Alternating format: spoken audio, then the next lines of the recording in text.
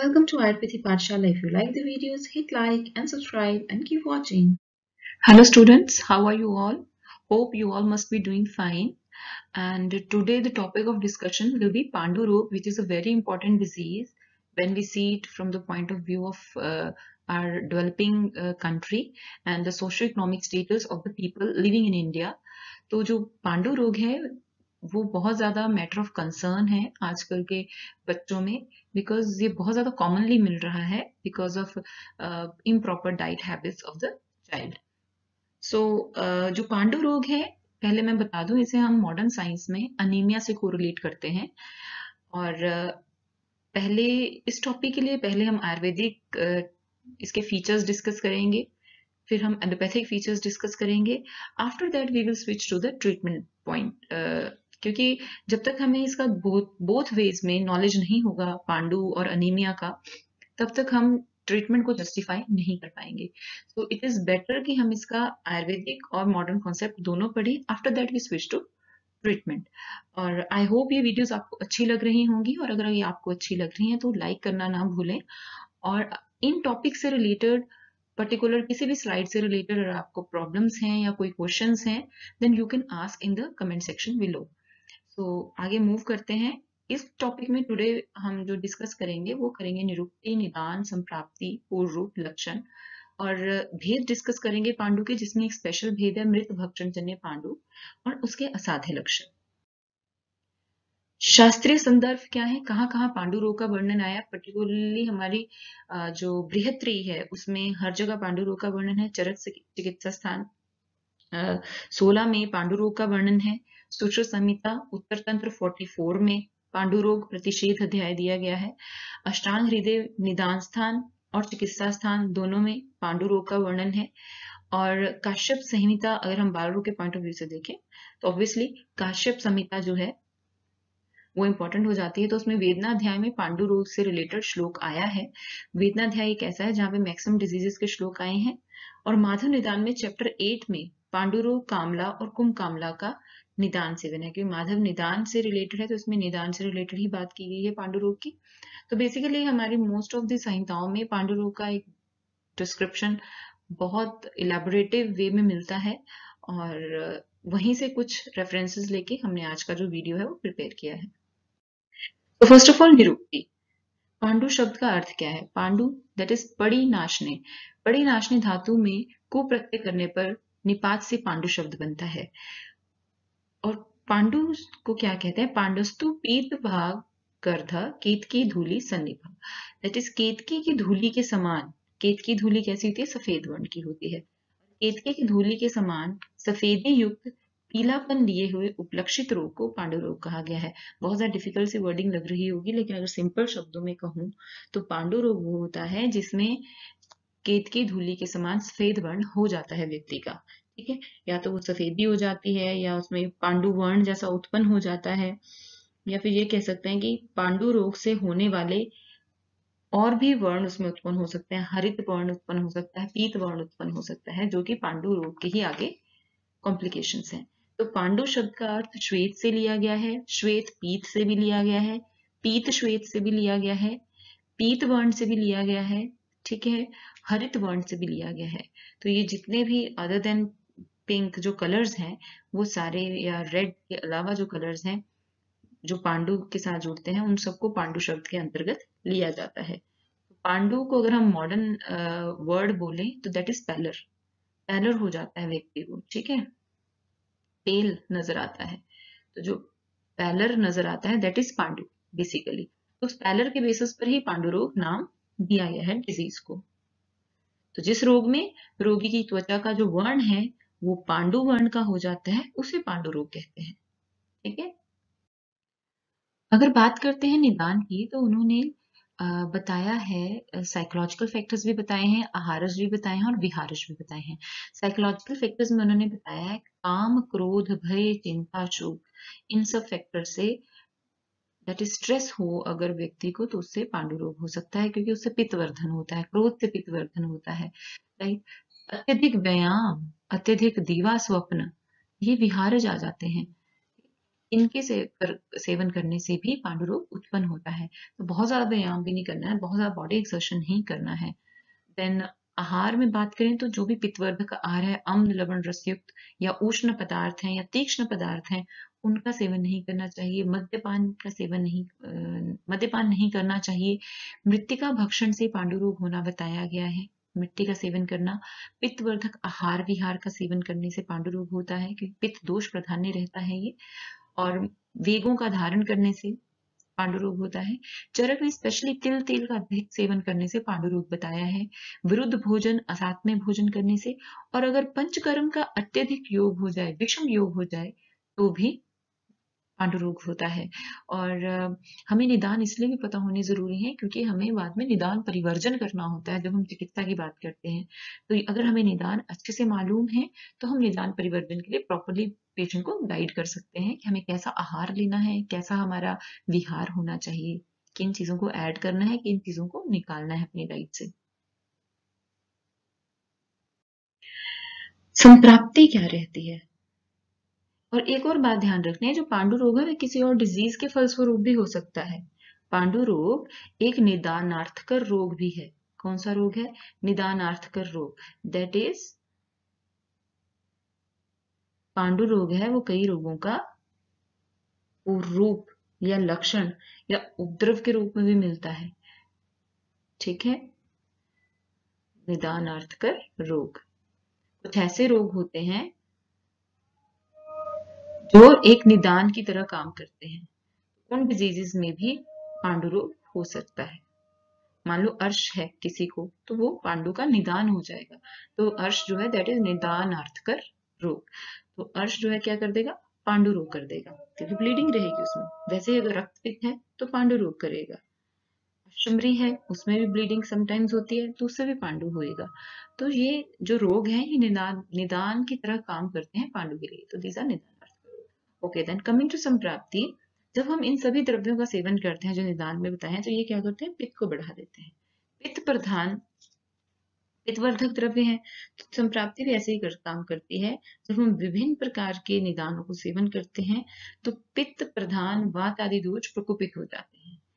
जब वो प्रकोपित हो जाते हैं जिस भी व्यक्ति की उसके रक्त आदि धातुएँ भी प्रकोपित हो जाती हैं। जब वो प्रकोपित होती हैं प्रॉपरली बनती हैं तो वो धातुएँ शिथिल बनेंगी या गुरु बनेंगी। उनके फलस्वरूप व्यक्ति में बल, वर्ण, स्नेह और ओज की कमी हो जाती है। जब बल, वर्ण, स्नेह और ओज कम होगा, रक्त धातुएँ भी कम बनेंगी, क्षीण होएँगी तो व्यक्ति में पांडु के लक्षण उत्पन्न हो जाते हैं। ठीक है? संप्राप्ति में दोज कौन से रहते हैं? इनको याद रखना है। पांडु जो है, देखो, तीन शब्दों के मेल से बना है। प, ण और ड राइट पांडु। इस तरह पांडु बना है। तीन शब्द हैं इसमें। है ना? तो तीन लेटर से याद रखना कि इसमें त्रिदोष होता है। दोष कौन से होते हैं? त्रिदोष। और प से पहला शब्द क्या है? प। दैट इज़ पित्त प्रधान है ये। त्रिदोष है और पित्त प्रधान है राइट दुष्य कौन से मिलेंगे? अब तीन है पांडु में तो शुरू के जो तीनों धातुएँ होती हैं, वो दूषित होती हैं। रस, रक्त और मांस राइट तो रस की जगह हम त्वचा लिख देते हैं। रस, रक्त और मांस। शुरू की तीनों धातुएँ जो हैं, क्रमशः जो शुरू में तीन धातुएँ आती हैं, वो दूषित होती हैं। तो तीन से ही इसके आंसर्स हम बनाएँगे। पांडु से ही याद रखना है। पांडु तीन शब्दों के मेल से बनता है। दैट इज़ इसमें त्रिदोष उत्पन्न होते हैं। तो त्रिदोष में भी प्रधान कौन सा होता है? पांडु प से लिखा जाता है, इसलिए प से पित्त प्रधान है।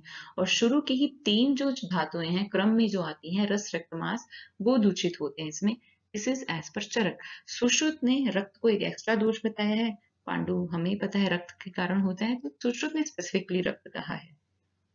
अधिष्ठान, ये हमें पता है, ये हम स्किन में देख लेते हैं कि पेलनेस तो स्किन में देखी जाती है तो सर्व शरीरगत त्वचा, पूरी त्वचा में इसका अधिष्ठान है, स्रोतस भी रसवे और रक्तवे स्रोतस होंगे और स्रोत दृष्टि क्या रहती है? संग। टॉकिंग अबाउट संप्राप्ति चक्र, जो विशेष संप्राप्ति अगर हम इसकी बात करें तो उसमें निदान का सेवन करने से स्पेसिफिकली कौन सा पित्त दूषित होता है? साधक पित्त। साधक पित्त की वृद्धि हो जाती है, ठीक है?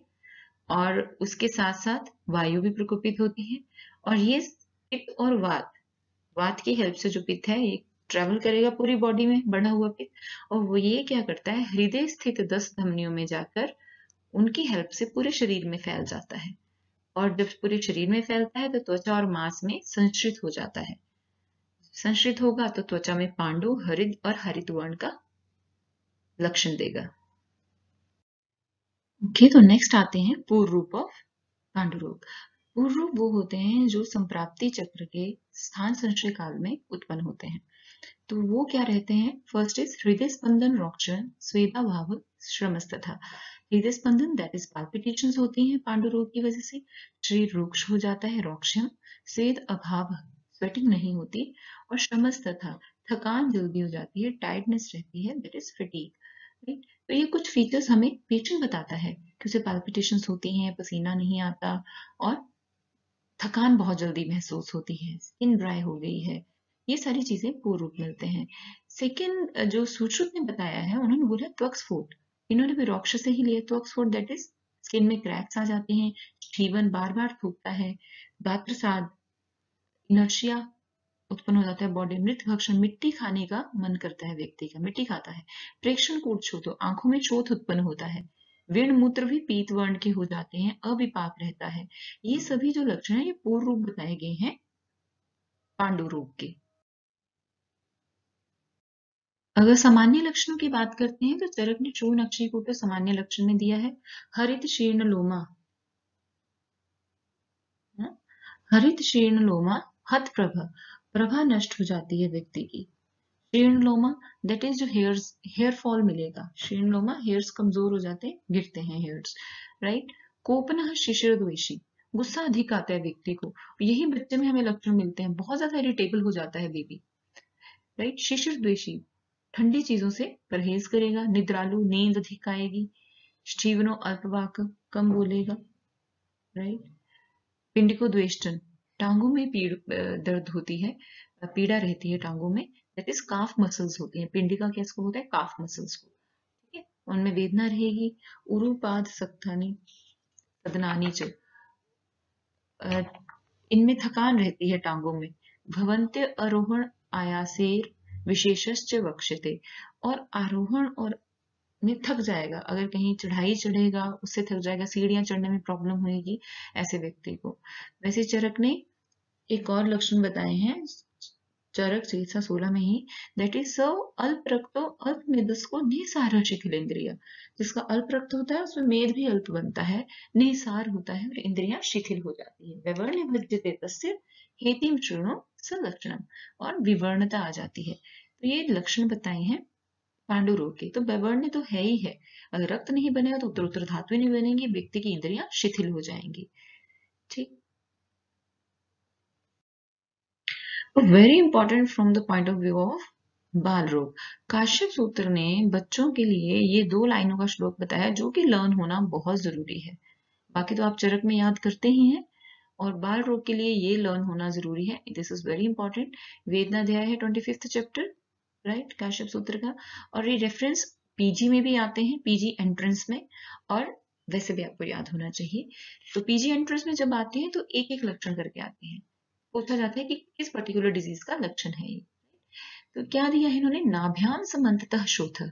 नाभि के अराउंड शोथ उत्पन्न हो जाता है। श्वेत अक्षी नख वक्रता और व्हाइट अक्षी नाक और मुख कब होंगे जब पांडु रोग होगा। तो ये तो क्लियर हो जाता है, लेकिन ये लक्षण आता है, कई बार फ़र्स्ट पॉइंट नाभ्य समन्तता शोधक किस रोग का लक्षण है। पांडु रोगे अग्नि सादृश अग्नि साध कौन से रोग में होता है? चतुश्च अक्षी कूटे और आँख, आँखों में शोथ अक्षी कूट में शोथ रहता है। ये लक्षण बहुत इंपॉर्टेंट है, ये अच्छे से लर्न होना बहुत ज़रूरी है। नाभ्याम समन्ततः शोथ श्वेतक्षिणवक्रता पाण्डुरोगे अग्निसादर्श चतुष्चक्षिकूटे अब बात करते हैं भेद की। चरक और भागवत ने पाँच भेद दिए हैं ऑलवेज रिमेंबर दिस और सुश्रुत ने चार भेद दिए हैं पांडु के। पांडु में तीन लेटर्स हैं, पर तीन उसके भेद नहीं है। ये ध्यान रखना है, या तो चार है, या तो पाँच है।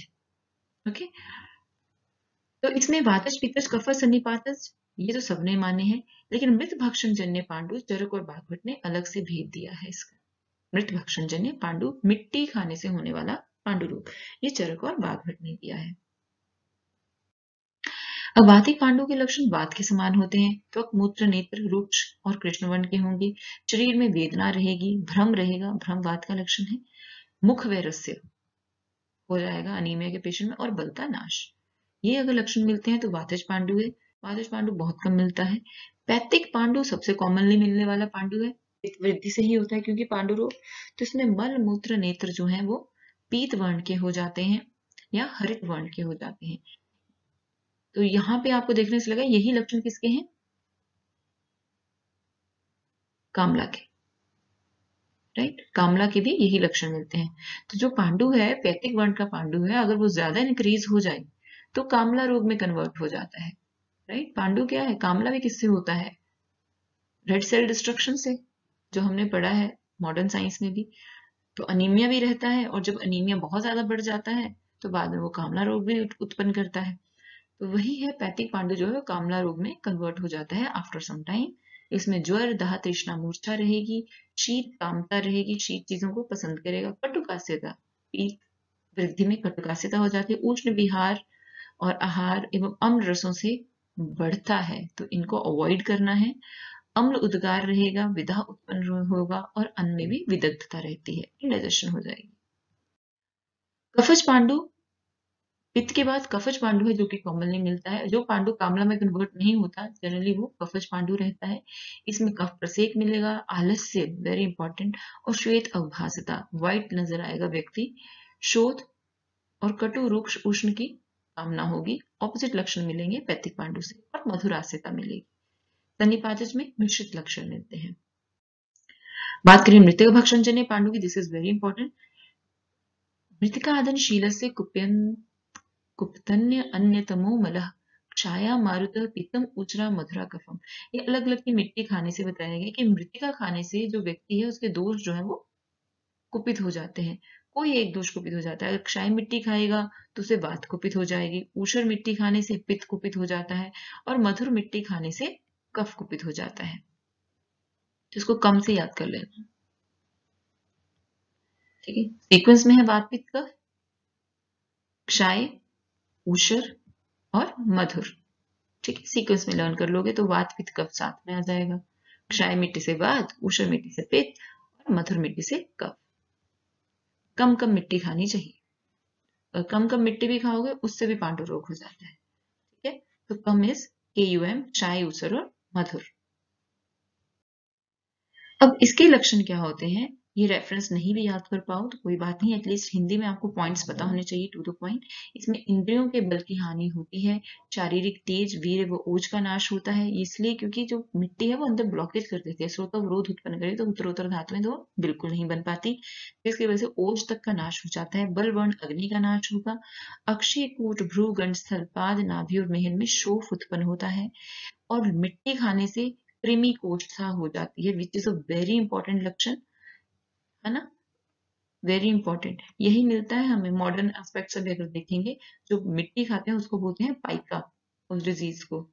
और पाइका की वजह से आगे वॉर्म इन्फेस्टेशन भी हो सकती है, और उसके बाद व्यक्ति को अनीमिया डेवलप हो जाता है।